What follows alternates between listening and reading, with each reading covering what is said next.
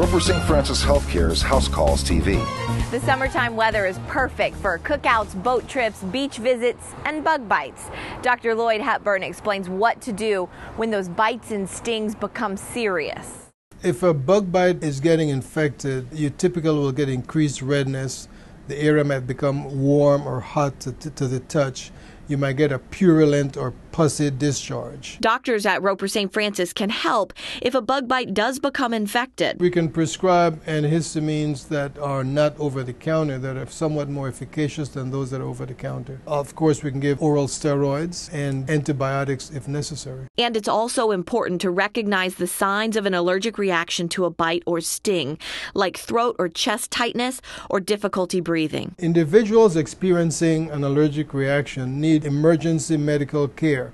This usually includes intravenous antihistamines, epinephrine, steroids, intravenous fluids. For more information, call 402 CARE, and for more House Calls TV, go online to rsfh.com. I'm Angela May. Roper St. Francis Healthcare's House Calls TV.